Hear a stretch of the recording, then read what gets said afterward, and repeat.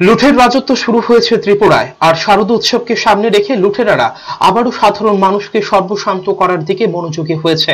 সব দেখেও নিশ্চুপ প্রশাসন এবং মুখ্যমন্ত্রী করিত কর্মা পুলিশ মুখ্যমন্ত্রী নিজে বলছেন, পুলিশকে ফ্রি হ্যান্ড দেওয়া হয়েছে। সমাজদ্রোহীদের বিরুদ্ধে ব্যবস্থা নেবার জন্য, কিন্তু আদতে তার ছিটে ফোটো ঘুরছে না। অন্তত শহরের খুব কাছে, জিরানিয়া এলাকাতেও পুলিশ একদম নিষ্ক্রিয় হয়ে পড়েছে বলে অভিযোগ। এখানে সমাজদ্রোহীরাই দাপিয়ে বেড়াচ্ছেন, তারাই হয়ে উঠেছে আইন আদালত। তিন মার্চ রাজ্যের পালা বদলের পর রাজ্যের মধ্যে সবচেয়ে ভয়ঙ্কর ভাবে আক্রান্ত এলাকা হলো জিরানিয়া।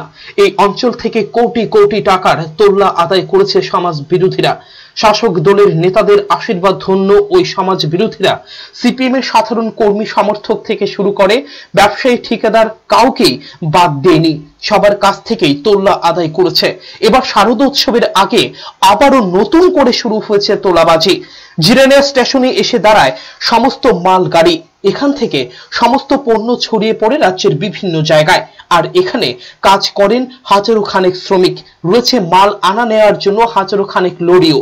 তোল্লার আক্রমণ থেকে বাদ যাচ্ছে না শ্রমিক এবং ট্রাক চালকরাও। এখানে পাথর ব্যবসায়ী রয়েছেন। রাজ্যের বিভিন্ন নির্মাণ কাজের জন্য পাথর এখান থেকেই সরবরাহ হয়। জিরানিয়াতে কাজ করেন। পাথর ব্যবসায়ীদের কাছে শারদোৎসবের জন্য এক লক্ষ টাকা করে চাঁদা চাওয়া হয়েছে।